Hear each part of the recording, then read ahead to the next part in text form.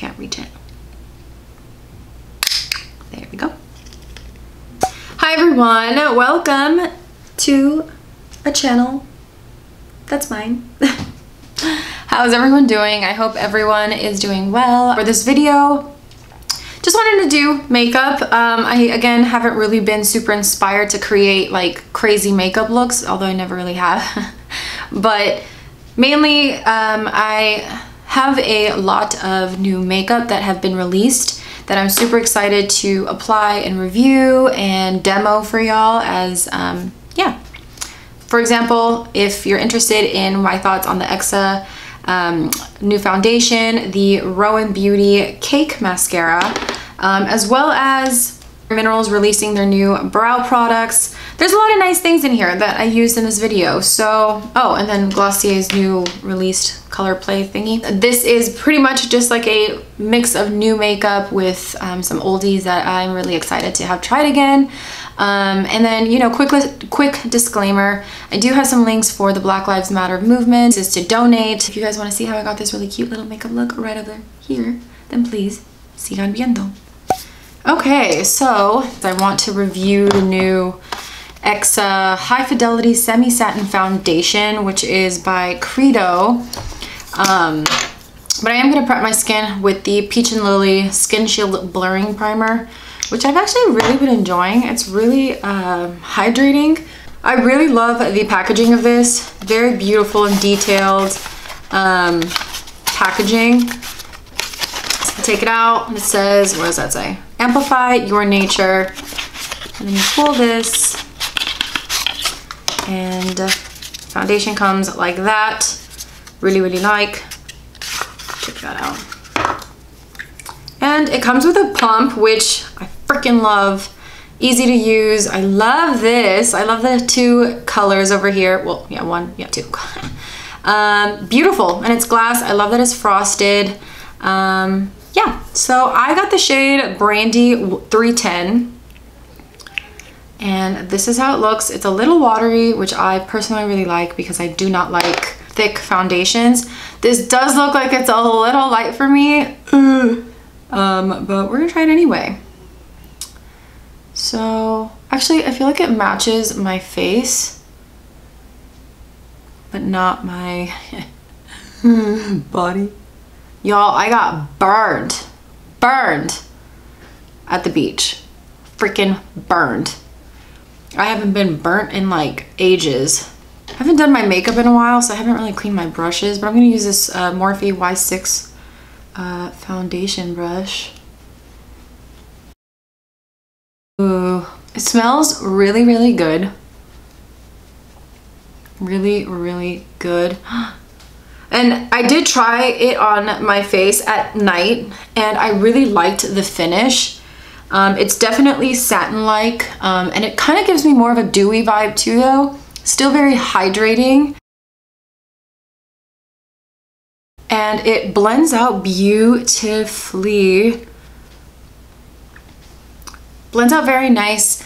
As you guys can see, I love that it really evens out the skin tone. It doesn't feel thick on the skin which I also love and look for in a foundation because I don't really like thick foundations. I prefer something that'll give me more of like a really pretty glow, evens out the skin tone, um, and has really great ingredients. Uh, so it's like skincare in your makeup.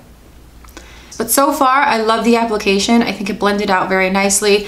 I would say it's more of a light medium coverage. It did cover up a couple of my imperfections, like some dark spots that I have gotten. Um, but yeah, looks really, really freaking good. I am so happy I got this foundation. Now for concealer, Bare Minerals sent me over their um, Bare Skin Complete Coverage Serum Concealer. I have it in the shade medium and uh, medium golden. And from the two of them, this one looks like it would be my shade. We'll see. I have tried this once. Won't lie, I wasn't a huge fan because it's a little lightweight. Um, but I was, uh, when I did try this out, I was looking for a full coverage concealer. As of lately, uh, my circles haven't been so bad since I haven't been wearing makeup, which is so odd. Um, So I want to see the coverage of this now and if I like it. So this is a doe foot applicator. I really, really like it. I love the smell of concealer. Ooh, it is so watery. Okay, so I'm just gonna do it like that. I think this is a good shade. Um, this is the medium golden. I'm gonna apply with my Juno sponge over here. And let's see. Wow, this is actually pretty full coverage for how lightweight it feels. Oh my god, this is a lot. I really just wanted something very natural today. So this is pretty brightening. As you guys can see though, it did blend out very, very easily. And I am surprised at how full coverage this is. I'm like already peeling on my nose. It's so freaking annoying. Let me see how medium looks. I feel like medium might be too light. Oh yeah, medium is way, way too light.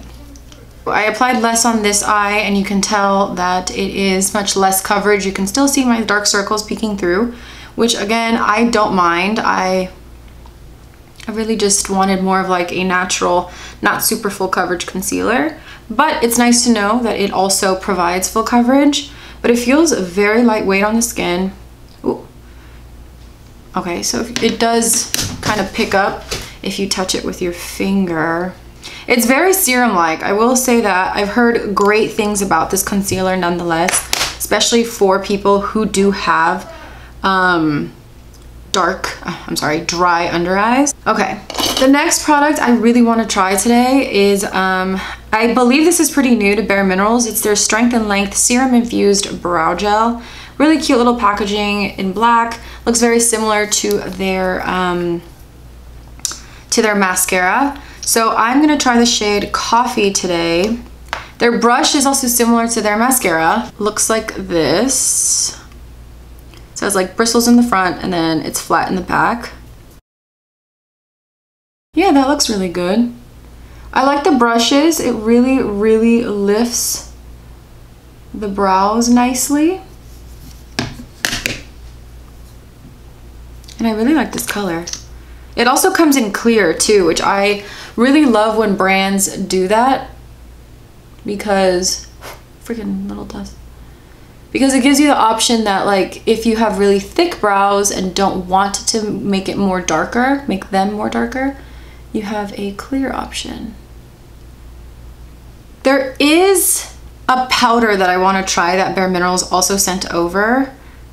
Let me bring it. So I also received the, the Hydrating Mineral Veil Setting Powder, um, which I'm very, very, very curious in trying because uh, I've never tried a powder that is a hydrating like setting powder.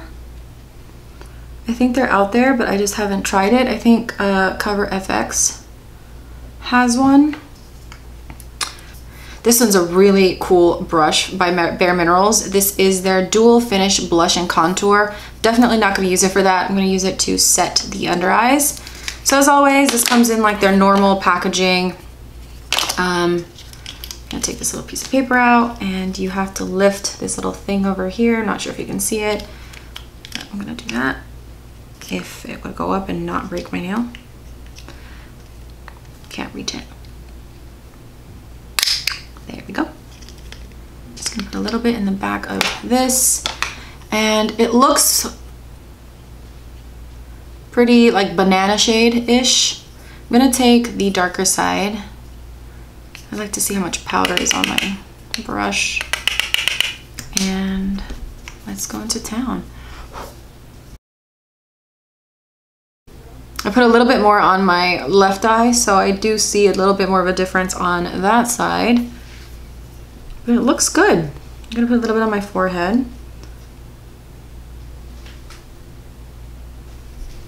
Came out kind of pink. Oh my god. This is interesting. I'm not sure how I feel about for the eyes, I kind of want to keep it very simple. I did just get the new shade from Glossier Play in Saturn Return. Looks like so.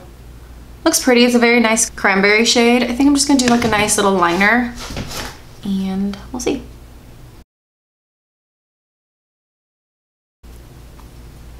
It looks pretty. Not, I feel like it kind of looks like uh, Pretty Penny by them.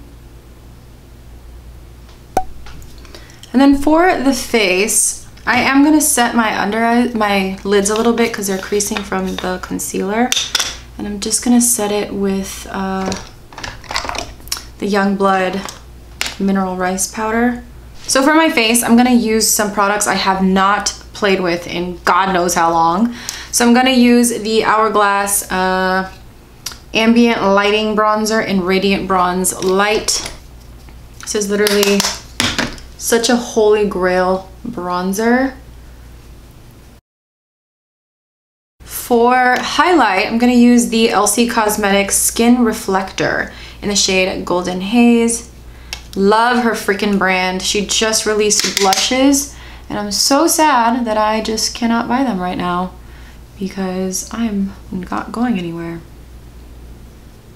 These are one of the best powdered highlights if you guys ever do want to invest in a really natural powdered highlighter. Um, this one really sinks into the skin beautifully and just gives the skin like a very nice, um, yeah, natural glow. You can't really see the powder on your skin. I think for blush, I'm also gonna go in with an Hourglass product um, just to kind of give a little bit of a rosy cheek moment. This is their Ambient Lighting Blush in Diffused Heat. So that is it for the skin. And then for another fun launch that I'm so excited to try on video, Roen just released their Cake mascara.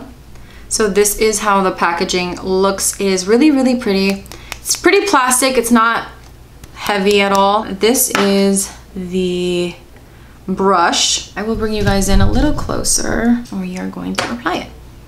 Mm. I love the smell of mascara too. Ooh, and that is one coat that looks really, really good compared to that eye. Now I'm just, I haven't dipped it back in, but I am just gonna keep working with it. A lot of times I also like to tease my brow, my lashes and play with them back and forth like this and then go back up. And that's what I do with mostly all of my mascaras. Just one dip of the Roen mascara and I think that looks phenomenal. Like that is beautiful. Okay, I'm gonna do it on the other eye and I will be right back. All right, so that is the mascara. So for lips, I am in between three colors. Um, I'm in between like the Roen in Scout, Driver by Glossier, and Versed in the shade Fig. Um, I think I'm gonna do the Roen just looks better. That's this one right over here. I think it would look really nice with the liner. So one of my favorite freaking lip balms uh, formulas.